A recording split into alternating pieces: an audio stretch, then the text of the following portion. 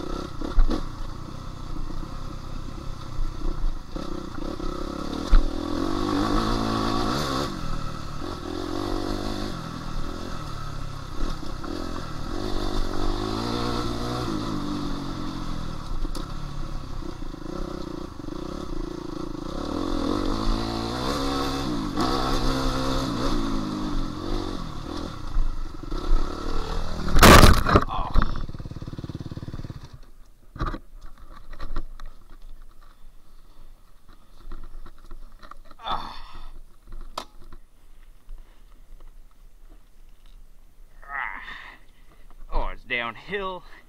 Can't even get on my bike properly.